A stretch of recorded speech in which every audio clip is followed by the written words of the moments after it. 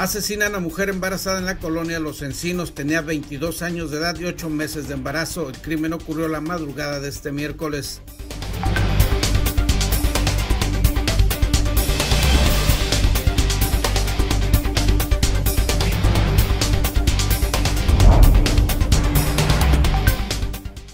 Se recupera el fiscal general del estado, Guillermo Ruiz Hernández, lo reportan con neumonía atípica y se informa que otros funcionarios de la Fiscalía General están contagiados de COVID-19.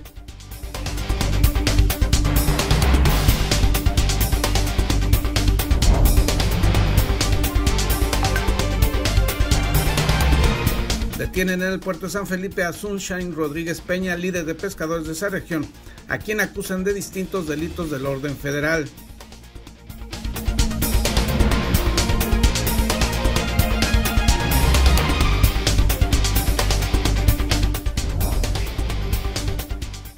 El incremento de contagios de COVID-19 en el sur de California y en Baja California está afectando la actividad económica de Tijuana y Mexicali, afirmó Jorge Menchaca Silencio, presidente de la región noroeste de la Confederación Nacional de Cámaras de Comercio. La carrera Baja Mil a realizarse del 17 al 22 de noviembre en el municipio ensenadense será bajo estrictas medidas sanitarias tanto para los pilotos participantes como para los espectadores de estas competencias fuera de camino.